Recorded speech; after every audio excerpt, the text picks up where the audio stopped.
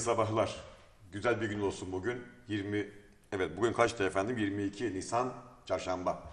Evet, malumunuz e, bugünden sonra e, 4 gün boyunca e, evde kal olacak, sokağa çıkma yasağı olacak. Böyle kademeli bir şekilde insanlar hem kendi ihtiyaçlarını karşılayacaklar hem de e, evde kalmış olacaklar. Bu şekilde de e, virüsün etkilerinden daha az zarar görmüş olacağız. Evet şu anda bizleri evlerinde, iş yerlerine, farklı mekanlarda izleyen Şanlıurfa'dan, Türkiye'nin ve Avrupa'nın neresinde olursa olsun izleyen bütün dostlarımıza hayırlı sabahlar diyoruz. Gününüz bereketli olsun, gününüz sağlıklı olsun, yüzünüz güleç olsun. E, cebinizden para, yüzünüzden gülücük, kalbinizden iman eksik olmasın. Güzel bir gün, güzel bir temenni olsun. Ve tabii sevgili dostlarımız bugün de saat e, 11'e kadar sizlerle birlikte olacağız. Yarın mübarek Ramazan'ın arefesi olacak. Aynı zamanda yarın 23 Nisan Çocuk Bayramı malumunuz. Yarın da farklı bir gün. Yarın da burada olmaya çalışacağız. E, tabii şu anda e, program çalışmalar devam ediyor. E, malumunuz hem sokağa çıkma yasağı var hem 23 Nisan var. E, burada olacak mıyız, olmayacak mıyız ona gün içerisinde e, gereken karar verilecek. Evet bugün de elimizden geldiğince sizlere böyle e, az özcü haberler vermeye çalışacağız. Çünkü sizler e, evde kalıyorsunuz. Evde kalırken bizleri izliyorsunuz. Moral bekliyorsunuz. Böyle biraz rahatlamak istiyorsunuz. Bu aşamada biz de elimizden geldiğince sizlere güzel haberler vermeye çalışıyoruz. Ben ve sevgili yönetmenim Fethi Doğan kardeşim. Evet öncelikle ben şu anda her ne kadar burada görünsem de işin mutfak kısmında olan değerli kardeşim Fethi Doğan'a çok teşekkür ediyorum. İyi ki var. Evet, ARG Şirketler Grubu sponsorunda sizlere birlikteyiz. ARG Şirketler Grubu Ali Rıza Gök kardeşimize ait. Ee, hem İstanbul'da hem Şanlıurfa farklı mekanlarda e, farklı şirketleri bulunan, bölümleri bulunan bir iş, e, işverenimiz. E, İstanbul'da plastik vesaire üzerine birçok fabrika. Yine e, Birecik ilçemizde e, alabalık üretim tesisleri vesaire buna benzer çok alanlarda memleketimizde hizmet eden e, bir şahsiyet Ali Rıza Gök Beyefendi'ye programımıza katkılarından dolayı çok teşekkür ediyoruz. Sağ olsunlar, var olsunlar.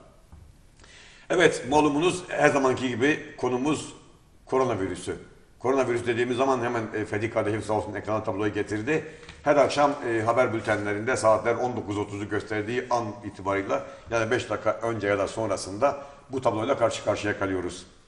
Evet, Sağlık Bakanı Fahrettin Koca tarafından açıklanan verilere göre son 24 saatte 39.703 testten 4.674'ü pozitif çıktı.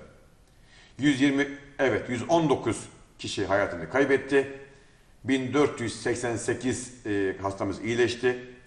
Toplam test sayısı 713.409. Toplam vaka sayısı 95.591. Toplam vefat eden yurttaşımızın sayısı 2259. Toplam yoğun bakımdaki hasta sayısı 1865. Toplam entübe hasta sayısı yani solunum cihazına bağlı hasta sayısı 1006 ve toplam iyileşen hasta sayısı 14.918. Bu tablo gösteriyor ki yani yaklaşık 15 bine kadar rakama kadar bir iyileşme durumu söz konusu. Fakat e, 39 binde 4600 yüzde onun biraz daha üzerinde oluyor. E, henüz istenen rakamlara ulaşamadık. Fakat Devlet Başkanımız Sayın Recep Tayyip Erdoğan'ın açıklamaları şu anda e, yatay yatay e, şekilde ilerlemeye başladık. İnşallah en kısa sürede e, bu rakamların çok aşağıda olduğunu göreceğiz ve e, Şanlıurfa ve bütün Türkiye'de inşallah bayrama kadar iki bayramı bir arada yapacağız. Evet bu arada tabii ki e, bu virüs tablosunu biz gördük. E, değerli dostlarımız malumunuz Türkiye genelinde e, birçok yurttaşımız, birçok hemşerimiz Türkiye dışında. işte Avrupa'da, İtalya'da, İspanya'da ve dün itibariyle ona da gelmeye başladı. Geçtiğimiz günlerde yine Cezayir'den, işte diğer ülkelerden Türkiye'ye gelişler vardı. Eğer Fethi kardeşim e, telefon balansını ayarlarsa evet e, Cezayir'den gelen e, hemşerimiz Ceylanpınarlı Şanlıurfalı iş adamı Sayın Muhittin Bıçakçı şu an hattımızda. Sayın Bıçakçı hayırlı sabahlar efendim. Hayırlı sabahlar Mehmet Bey. Teşekkür ederim. Efendim geçmiş olsun öncelikle Sağ olun. Teşekkür ederim. Allah razı olsun. cümlemizden. Sayın Bıçakçı e, siz Cezayir'de e, işlerinizi yürütüyordunuz. Doğrudur. Evet bu süreçte e, Şanlıurfa'ya gelme gereği duydunuz fakat gelir gelmez sizi Şanlıurfa'ya getirmediler.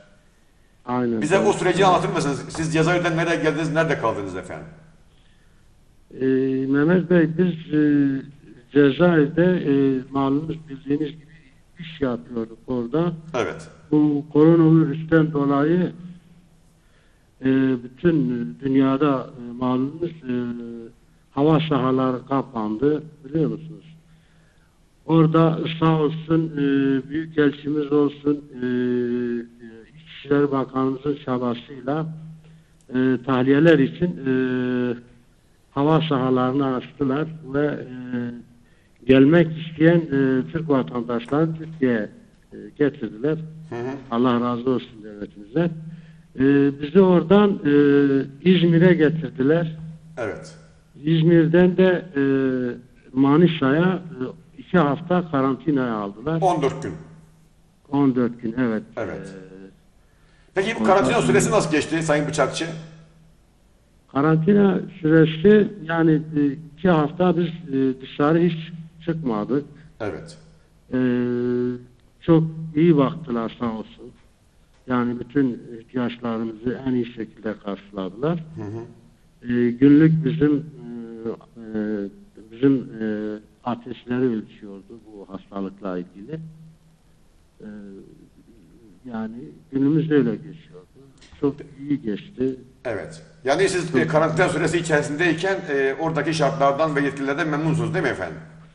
Çok memnun. Allah razı olsun. Yani e, yemekler olsun, temizlik olsun, e, banyo olsun, sıcak su olsun, kitaplara kadar e, sağ olsun bize e, verdiler yani sıkılmamamız için. Evet. Her türlü, her türlü imkanı sağladı yani sağ olsun. Evet. Peki Sayın Bıçakçı e, karantina süresi bittikten sonra dışarı çıktınız. Ne hissettiniz efendim? Yani e, insan yani şey yani sanki bir cezaevinde çıkmış gibi hissediyordunuz. Yani Evet. öyle bir hava vardı. İnsan tabii ki ne kadar da e, iyi e, bize bak, bak bakıyorlardı da yine insan ister istemez e, bir, e, Sıkılıyor. bir şey oluyor şu an tabii ki. evet. Evet. Peki e, son olarak bizi izleyen dostlarımıza e, virüsle ilgili ne gibi tavsiyelerde bulunabilirsiniz? En azından 14 gün karantinada kaldınız. Şartları biliyorsunuz, işin zorluğunu biliyorsunuz. Neler söylemek istersiniz? Vallahi vatandaşlarımıza kesinlikle bizim e, büyüklerimizin çağrı, çağrılarına uysunlar. İçeride evinde kalsınlar. Evinden çıkmasınlar. Bak ben geldim yine burada iki hafta ben yine kalacağım. Evet. Yani evimden yine dışarı çıkmayacağım. İki hafta da böyle. Yani hem sevdiklerinize hem şeylerinize, çevrenize yani düş- düşünüyorsanız bunlara uymak zorundayız. Hepimiz. Anladım. Peki Yani çok teşekkür bir- ediyorum. Ben teşekkür ederim Mehmet Bey. Kendinize iyi bakın efendim. Saygılar sunuyorum. Çok teşekkürler. Evet değerli dostlarımız, e, değerli hemşerimiz e, Muhittin Bıçakçı'ya e, çok teşekkür ediyoruz. Aynı zamanda geçmiş olsun diyelim. Çünkü Cezayir'den geldiler. Cezayir'den gelir gelmez de önce İzmir'e, oradan Manisa'ya 14 gün karantinada kaldılar. Bize karantina sürecini anlattı tabii bu arada Sayın Bıçakçı. E, şunu söylüyor, devlet yetkililerimiz sağ olsunlar bizlere çok iyi baktılar. Her türlü imkanlar vardı diyor. Hatta e, sıcak suyumuz, banyomuz, yeme, içme her şey çok güzeldi. Hatta diyor kitap bile vardı biz okuyalım diye. Fakat imkanlar ne kadar iyi olursa olsun e, karantinada olmak, kapalı kapılar ardında olmak, dışarı çı- çıkamamak, gezememek e, zordu diyor. O yüzden e, bütün hemşerilerimizden, bizi izleyenlerden ricamız şu diyor. Lütfen ne olursa olsun kendinizi e, izole edin, evden dışarı çıkmayın e, ve bu kur- kurallara uyun ki Allah'ın izniyle bu virüs belasından bir an önce kurtulalım. Evet tabii ki önemli. Yani düşünsenize 14 gün e, bir evin ya da bir yurtun içerisindesiniz. Bu süreç içerisinde zengin olmanız, fakir olmanız, iş adamı olmanız, hamal olmanız çok şey değiştirmiyor. Bu açıdan e, çok dikkat etmek gerekiyor. Eğer devlet yetkililerimiz e, bu konuda bizlere e, evde kalın diyorlarsa evde kalmak lazım. Gerçi e, az önce Ajans Traduçan son dakika haberine göre e, evet bugün saat 17'de e, bilim kurulu yine kon- video konferans yöntemiyle toplanacak. Mutlaka yeni kararlar alacaklar. Ve tabii ki e, Sağlık Bakanı Sayın Fahrettin Koca saat 19'da buradaki birikimleri, buradaki görüşenleri bizlere anlatacaklar. Evet. Şimdi e, tabii ki farklı bir habere geçeceğiz ama e, sevgili Fethi kardeşim hem haberi hazırlasın hem telefonu hazırlasın. E, bizler Ramazan'a hazırlanıyoruz. Öncesinde bir e, acı haber var. Onu verelim isterseniz. E, dün Şanlıurfa'da Karaköprü e, ilçemizde iki ikiz kardeşimiz, minik bebeklerimiz balkondan düşerek hayatlarını kaybettiler. Evet, özellikle e, sevgili anneler, babalar, ablalar ve ebeveynler, evde kalanlar. Siz evdeyken bazen maalesef bu televizyonlarda işte kadın programları vesaire bazı şeyler daldığınız zaman ya da işte o telefonlarla böyle hani oynuyorsunuz da tıkı tıkı tıkı oynuyorsunuz. Siz farkında olmadan minikler kendini balkona aşağı sarkıtıyor. Bu çok acı bir durum. Bir evde böyle bu yaşta minik çocuğun hayatını kaybetmesi, hele hele iki tane miniğin birden hayatını kaybetmesi çok acı. Rabbim e, ailesine sabırlar versin. Ama sizden rica ediyoruz ne olursunuz çok dikkat edin. Bir de özellikle şu anda e, biz eski Urfa evlerine göre böyle bina e, şekline geçtik. Eskiden işte böyle yer vardı, eski hayatlı evler vardı kenar mahallelerde olduğu gibi. Şimdi bu Karaköprü, işte Yenişehir, Çağdaş, Çankaya, TOKİ vesaire buralara gidince artık bunlar çok katlı binalar oldu. Çok katlı binalar da işte ikinci kat, üçüncü kat, dördüncü katta çocuk Allah muhafaza düştüğü zaman e, bunun telafisi yok. Yani buradan ben aslında bu haberi verirken de çok böyle e, sıkıntı bir şekilde haberi hazırlattım. Çünkü düşünsenize acı bir haber ama en azından bunu vermemizin sebebi bizi izleyen e, evde kalan ebeveynlerimize, büyüklerimize e, bir nevi nasihat olsun. Fethi'm hazır mı haberimiz? Buyurun efendim haberimiz sizlerle. Edinilen bilgiye göre olay sabah saatlerinde Şanlıurfa'nın Karaköprü ilçesine bağlı Narlıkuyu mahallesinde yaşandı. İddiaya göre 5 katlı apartmanın 4. katındaki evin açık olan penceresinin kenarında oyun oynayan 2 yaşındaki ikiz kardeşler Ravza ve Rümeysa Demir pencereden kendilerini sarkıttıkları sırada dengelerini kaybedip beton zemine çakıldı. Çocukların düştüğünü görenler sağlık ekiplerine haber verdi. Olay yerine giden sağlık ekipleri kardeşlerden Ravza'nın hayatını kaybettiğini belirlerken Rümeysa ise ambulansla hastaneye kaldırıldı. Doktorların müdahale ettiği Rümeysa da kurtarılamayarak hayatını kaybetti. Ravza'nın cenazesi olay yerindeki incelemenin ardından Rümeysa'nın cenazesi ise hastaneden alınarak otopsi yapılmak üzere Şanlıurfa Adli Tıp Kurumu morguna götürüldü.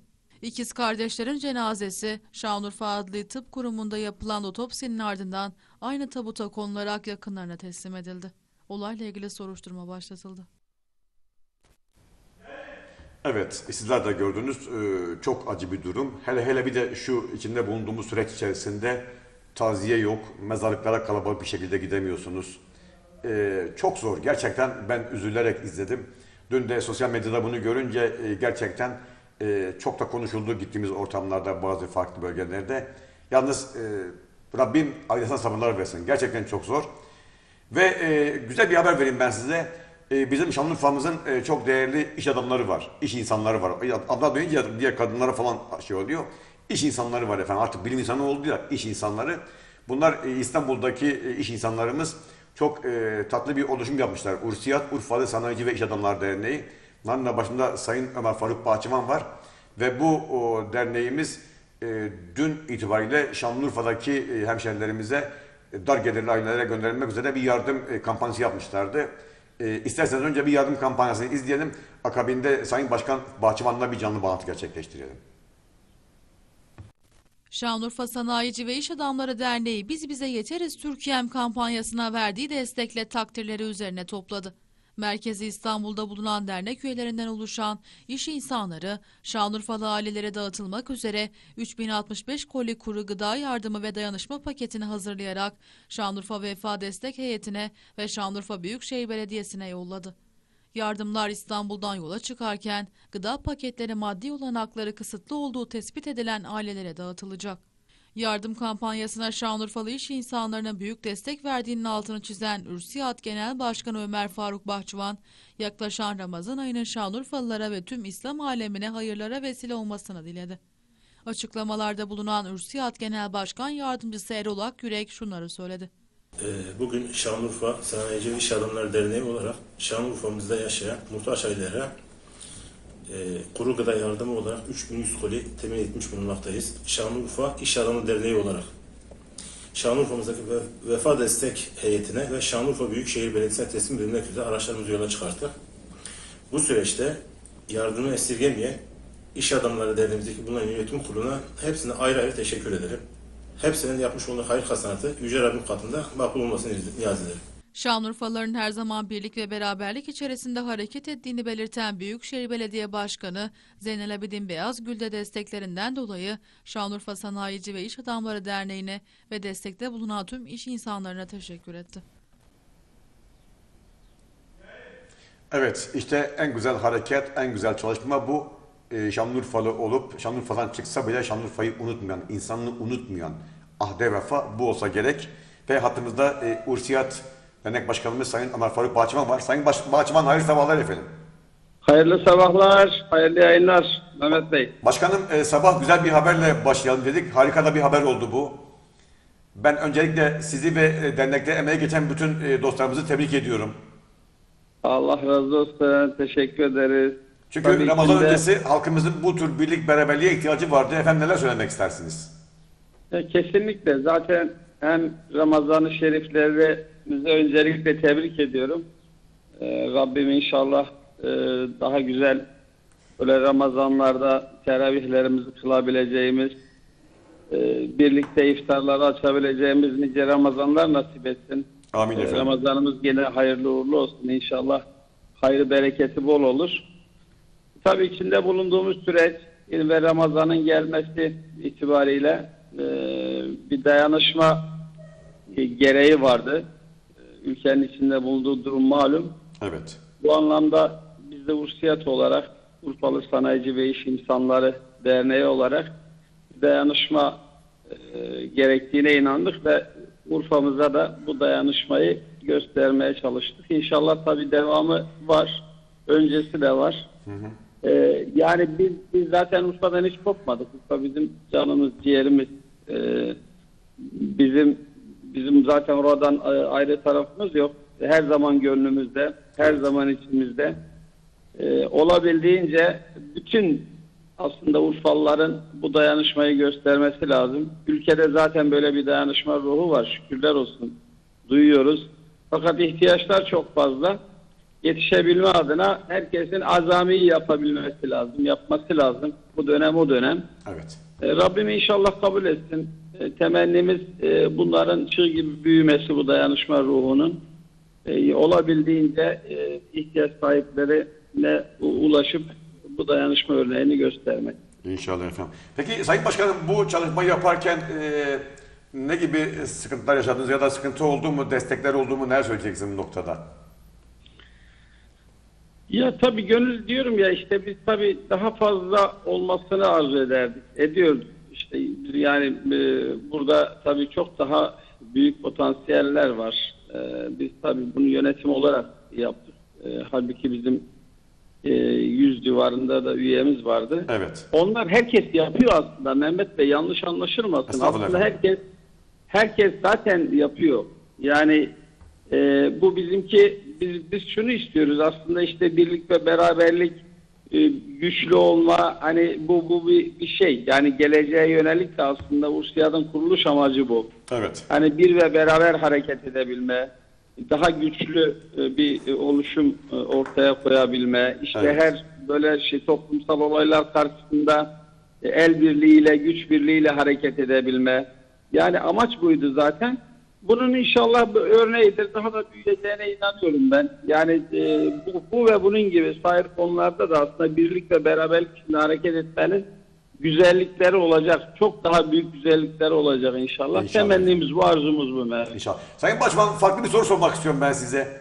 Şimdi Buyurun. önceki gün canlı yayın konuğum Akçakale Belediye Başkanı Sayın Yalçın Kaya'ydı. Sayın Evet. Yalçın Kaya e, birçok Avrupa ülkesinden e, yardım aldıklarını söyledi. Şimdi e, şuradan yola çıkıyorum. Siz e, yaklaşık 6-7 yıldır e, neredeyse ihracat şampiyonusunuz. Evet. 70-80 ülkeye ihracat yapıyorsunuz ve hepsinde çok iyi Evet. ilişkileriniz var. Bu Evet. ilişkilerden de e, yola çıkarak acaba e, durumu iyi olan ülkelerden herhangi bir yardım kampanyası vesaire bir şey gelemez mi acaba efendim? Valla Mehmet Bey şu anda biliyorsunuz dünyaya biz yardım ediyoruz. Evet. Yani e, şu anda dünyanın dünyanın e, hali hali harap. Evet. Yani biz biliyorsunuz 38-40 ülkeye hatta 50 ülkeye çıktı sanırım. E, bizim onlara şu anda yardımlarımız var. E, biz çalışmış olduğumuz ülkelerdeki müşterilerimize, bayilerimize bile buradan olabildiğince katkı sağlamaya çalışıyoruz. İhtiyaçlarını soruyoruz. E, hatta gönderdiğimiz şeyler de oldu. Evet. E, Yani şu anda dünyada böyle bir şey yok. Tabii ki e, o- biz biz şunu diyoruz zaten. Yani sadece e, Urfalılar İstanbul'da, Ankara'da yok. Dünyanın her tarafında var. Evet. Ve dünyanın her tarafındaki Urfalıların Urfa'yla gönül bağı var. olmalı da zaten. Çünkü Urfa normal bir şehir değil. Urfa kadim bir şehir. Urfa olağanüstü bir şehir. Evet. Ee, yani dolayısıyla bu gönül bağının ben çok büyük olduğunu düşünüyorum. Sadece bunların sözde kalmaması, e, öze dönmesi artı e, bir de işte bu birlik ve beraberlik ruhu içerisinde yapılacak şeylerde e, daha hayırlı olacak şeylerin ortaya çıkacağına inanıyorum. Yani bölük pörçük yapılacak şeylerin biliyorsunuz bereketi de biraz az olur. Aynen. Halbuki birlikte, beraberlik içerisinde hani böyle bir iki tek noktadan e, hem ne olur birbirimize sinerji de vermiş oluruz. İşte daha böyle fazla yapmanın gayreti içerisine gireriz. Daha hayırlı sonuçlar olur diye tahmin ediyorum. Yani İnşallah şuna ben inanıyorum. Urfa'nın e, Urfalıların nerede olursa olsun Urfa ile gönül bağı hep olmuştur ve olmaya devam edecek. Yani hiçbir zaman eksilmiyor. O gittikçe artıyor. Efendim çok teşekkür ediyorum Sayın Bahçıvan. Buyurun. Efendim çok teşekkür ediyorum. Ee, başarılarınız daim olsun inşallah efendim. Allah razı olsun. Biz teşekkür ederiz. Hayırlı yayınlar diliyorum. Çok teşekkürler Herkese efendim. çok selamlar, saygılar. Tekrar hayırlı Ramazanlar diliyorum. Çok teşekkürler. Evet, hayırlı zamanlar efendim. Evet, e, Rabbim böyle hayır sahiplerinin sayısını arttırsın. Çünkü e, biz burada yayına çıktığımız zaman bize e, çok sayıda telefon ve mesaj geliyor. İşte maddi sıkıntı yaşayanlar, hatta çocuğundan bez alamayanlar, evine ekmek götüremeyenler. Bir de malumunuz önümüz Ramazan. İşte bu işin iftarı var, sahuru var, açlığı var, tokluğu var, çocuğu var. Çocuk yoktan anlamaz. Şimdi değerli dostlarımız e, şunu da belirtmek istiyorum. E, özellikle kuaförler için birkaç kelime etmek istiyorum. Malumunuz kuaförler e, gerek bayan kuaförü gerek erkek kuaförü. Kapalı olunca e, için iki boyutu var. Birinci boyutu mesela bakın biz artık saçlar falan bir hale geldi tıraş olamıyoruz, kesemiyoruz. Öte yandan e, işte kuaförlük yapan e, bayan kuaförleri, erkek kuaförleri de evlerine ekmek götüremiyorlar. Maddi sıkıntı yaşıyorlar. Bu noktada e, artık işte Aile ve Sosyal Politikalar Bakanlığı böyle sürekli birinci faz, ikinci faz destekler çıkartırken bence böyle özellikle kuaför gibi, buna benzer kapatılan kafe gibi, kahve gibi, buna benzer sahiplerine, özellikle o da çalışan insanlara, dar gelirlere de bir paket açıklarlarsa e, bizim her zaman güzelleşmemize vesile olan kuaförlerimize de bir şekilde bir güzellik olmuş olur. Şimdi Ramazan geliyor efendim. Mübarek Ramazan geliyor ve Ramazan gelirken beraberinde Ramazan tedbirleri de geldi. Evet. Evet İçişleri Bakanlığı 81 ilimize genelge gönderdi Ramazan'la ilgili. Ve ne diyor? İçişleri Bakanlığı'nca 81 ilin valiliğine Ramazan'da alınacak tedbirler ile ilgili genelge gönderildi. Genelgeye göre koronavirüsün salgını nedeniyle bu yıl Ramazan ayında vatandaşların toplu katılım gösterdiği iftar, sahur gibi kalabalık grupları bir araya getiren her türlü etkinliğe ve iftar çadırına müsaade edilmeyecek. Yani böyle toplu iftar, toplu sahur yok bir. İkincisi özellikle iftar ve sahur vakitleri arasında vatandaşların dışarıya çıkıp sosyal mesafe kuralını çiğnememesi için gerekli tüm tedbirler alınacak. İftar ve sahur vakitleri arasında vatandaşların yoğun olarak kullandığı veya kullanabileceği caddeler kapatılacak. Düşünün ki akşam iftarı açtınız, çıktın işte bu Topçu Meydanı'nda, işte belediye Baklıgöl, oralar kapanabilir. Ayrıca Ramazan ayı boyunca türbe ziyaretleri de kısıtlanacak. Mezarlık ziyaretlerinin kontrollü olarak yapılabilmesi için mezarlıklara giriş ve çıkışlar ayrı olarak planlanacak. Arife günü ile bayram günlerinde mezarlık ziyaretlerinde ateş ölçümü yapılacak. Sosyal mesafe kuralı ve maske kullanımına ilişkin kontrollere ağırlık verilecek. Ramazan davulcuları bahşiş almak adına evleri kapı kapı gezmeyecek. Davulcuların bahşişlerini vatandaşların yerine yerel yönetimlerce karşılanacak. Bakın bunun altını çiziyorum. Ee, Ramazan davulcusu gelip sizden para istemeyecek. Bizim davul paramızı kim verecekmiş efendim? Bulunduğumuz yerel yönetim. İşte ya belediye ya valilik, işte genellikle ilçe belediye başkanları bunlar verecekler. Buradan da davulcu kardeşlere duyurulur. Aksi takdirde Ramazan davulcularının tek tek vatandaşlardan bahşiş toplanmasına müsaade edilmeyecek ve faaliyetlerine de izin verilmeyecektir diyor. Ramazan süresince iftar saati ve hemen öncesinde oluşabilecek pide kuyruklarının oluşturacağı yoğunluk nedeniyle fırınlardaki pide ve ekmek üretimiyle özel siparişler iftardan 2 saat önce sona erecek. İftar vakitlerinin öncesinde oluşabilecek trafik yoğunluğunu önlemek adına iftar saatinin en az 3 saat öncesinden itibaren belediyeler ile gerekli koordinasyon sağlanarak toplu taşımada kullanılan araç ve sefer sayısının artırılması sağlanacak. Ayrıca Ramazan ayı ve Ramazan bayramını fırsat bilerek fahiş fiyat uygulaması yapan firma ve işletmecilere yönelik denetimler artacak. Gerekli idari ve adli cezalar yapılacak. Ceza verilecek, işlem yapılacak. Çok güzel. Şimdi burada hoşuma giden ne? Birincisi böyle e, davulcular gelip tak tak kapı çalıyor. Ne oldu? Para ver. Daha üç gün davul çalmış. Dördüncü gün bakıyor kapıya bir tokmak vurdu. Bir de parayı verenler vermeyenler kapıya bir çarpı işaret falan koyuyor. O parayı gelip evden istemeyecekler. Yani sizi rahatsız. Çünkü mesela düşünün ki biz evde değiliz. Evde çocuklar var vesaire kapı çalınıyor. Farklı bir durum. Artık o davulcunun parasını e, yönetim verecek, yerel yönetim. Daha sonra bu art niyetli böyle bizde der ya adımız Müslüman. Durdum orada niye durdum? Fiilimiz Müslümanlığa çok fazla yakışmıyor. Ba, tabii hepsini demiyor abi iyiler ben tenzih ediyorum. Bazı arkadaşlarımız fırsat bilerek Ramazan, Ramazan işte tatil derken fiyatları iki katına, üç katına çıkartıyorlar. Bu İslam'a da sığmaz, Müslümanlığa da sığmaz, insanlığa da sığmaz. E, buna benzer çalışmalar var. Onun dışında efendim işte e, özellikle iftar saatinde toplu taşıma araçlarının sayısı artacak. Vesaire insanlarımız mümkün mertebe Ramazan'da bu kurallara uyarlarsa Allah'ın izniyle Başkan Erdoğan da belirttiği gibi iki bayramı bir arada yaparız sevgili dostlarımız. Evet şimdi bir e, güzel haberimiz daha var. Efendim Türk polisi. Ya iyi ki polislerimiz var. Gerçekten ben Türk polisine, e, polis teşkilatına ve güvenlik güçlerine çok teşekkür ediyorum.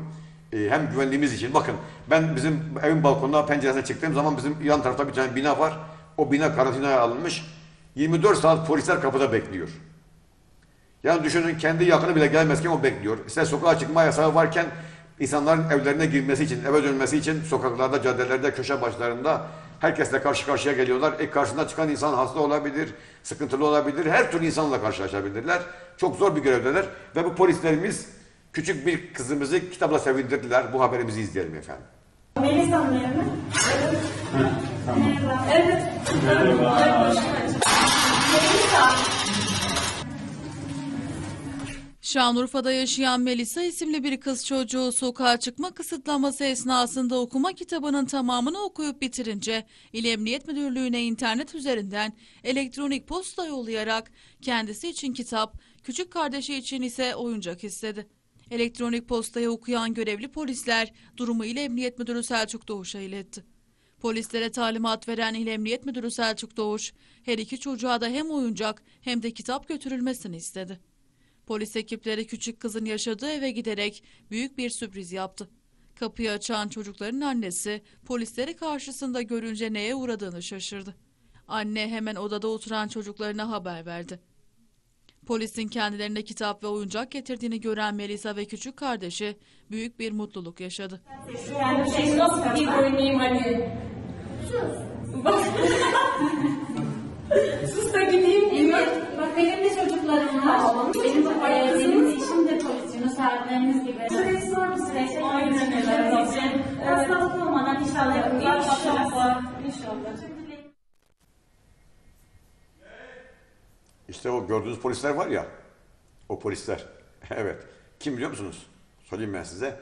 Senin amcan, onun eniştesi, bunun kuzeni, benim dayımın oğlu, bunun kayınpederi, bunun damadı vesaire. Yani biz, biz, polis de biz, asker de biz. Bizim içimizden, bizden birileri bunlar. Böyle güzel haberler. Böyle en azından bu koronavirüsünde e, Türkiye Cumhuriyeti'nde insanlarımızın birlik beraberliğe, moral ve motivasyona çok ihtiyaç duydukları bir dönemde hoşuma gitti bu haber. Yine hemen zaman kaybetmeyelim. Yine buna benzer tatlı bir haber. Ee, Beyaz bir Gül var. Beyaz bir Gül Urfa'da efendim. Şanlıurfa Büyükşehir Belediye Başkanı Zeynep Abidin Beyaz Gül. O da gitti e, minik Sümeyra'yı mutlu etti efendim. Sürpriz yaptı ona. Fakat bu arada bizi e, farklı illerden izleyen dostlarımız mesela Malatya'dan Nabi abi izliyor. İşte Amasya'dan diğer abimiz izliyor. E, Türkiye'nin dört bir tarafından hatta Avrupa'dan bizi izleyenler var. Bizi izleyen bütün dostlarımıza kocaman selam söylüyoruz. Bakın Başkan Beyaz Gül minik Sümeyra'ya ne yapmış efendim. bisiklet veriyoruz ki Sümeyre'yi de arkana alacaksın bindireceksin. Tamam mı? Koronavirüsü tedbirleri kapsamında evde kalan görme engelli Sümeyra'nın hayali olan babasına doğum günü sürprizi yapma çağrısına sessiz kalmayan Başkan Beyazgül, Sümeyra'yı evinde ziyaret ederek ona ve ailesine çeşitli hediyeler verirken babası için doğum günü pastası getirdi. Babasının doğum gününü kutlayan Başkan Beyazgül'e teşekkür eden küçük Sümeyra, annesi için şiir okudu. özürlü diyecekler bana. Ama ben kimseden özür dilemeyeceğim anne senin dışında. Senden şimdiden özür dilerim. Beklentilerinin hepsine cevap veremeyeceğim için. Duygu dolu anların yaşandığı sürpriz buluşmada Başkan Beyazgül, Sümeyra ile bol bol sohbet ederken aileyle de yakından ilgilendi. Sümeyra'nın annesi de Başkan Beyazgül'e yaklaşımından dolayı teşekkür etti. Gülücüklerin yükseldiği buluşma daha sonra pasta ikramı ile devam etti. Baban kaç yaşında oldu? 51. 51. Oo maşallah. Allah böyle kendisine nice uzun ömürler nasip etsin. Ama biz, biz küçüğüz. Annemin genç anne ve babam genç, genç yaşlarında olması lazım. Biz geç doğduğumuz için böyle oldu. Gençler, genç Sümeyra. Annem de genç, babam da. Aslında pasta çok güzel ancak pastadan daha güzel olan şu. işte vatandaşımız bu şekilde belediye başkanını, valisini, işte yetkilisini, vekilini böyle evinde, sofrasında, koltuğunda otururken görmek istiyor. Kendi evin koltuğunda, çekyatında. Bizi mutlu eden bunlar aslında. Ben Sayın Beyazgül Başkanıma çok teşekkür ediyorum. Sağ olsun, var olsun. Şimdi kısa bir ara vereceğiz fakat ara vermeden önce az önce malumunuz ben e, balkondan düşen miniklerden bahsetmiştim. E, Sedat Denek abi mesaj göndermiş demiş ki Mehmetciğim e, pencerenin önüne de sandalye masa koymasınlar. Doğru söylüyor. Çünkü bazı insanlarımız işte dışarıyı izlemek için pencerenin önüne masa sandalye koyuyorsunuz. Siz bunu yaparken çocuk farkında olmadan bazen oradan bakayım eğilim derken Allah muhafaza e, sıkıntı olabilir. E, az sonra e, değerli sağlık çalışanları sendikası başkanımız Salih Çoban'la birlikte olacağız. Önce kısa bir ara ardından birlikteyiz.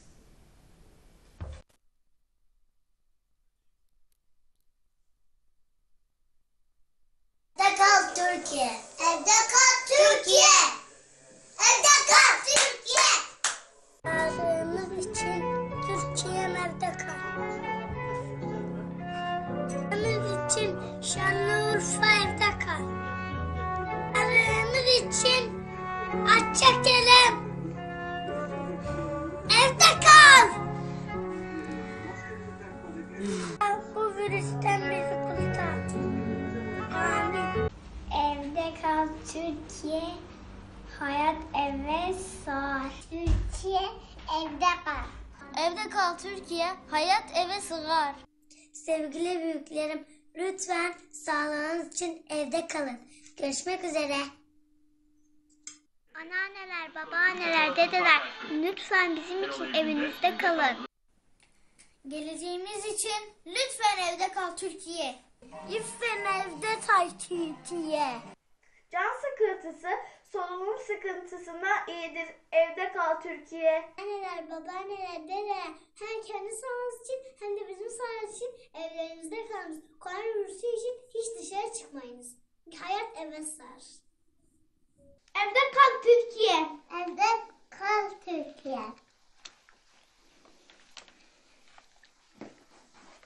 Evde kal Türkiye, evde kal Urfa.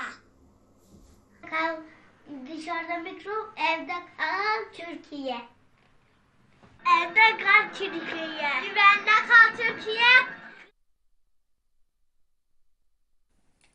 Geleceğimiz için lütfen evde kal Türkiye. Lütfen evde kal Türkiye.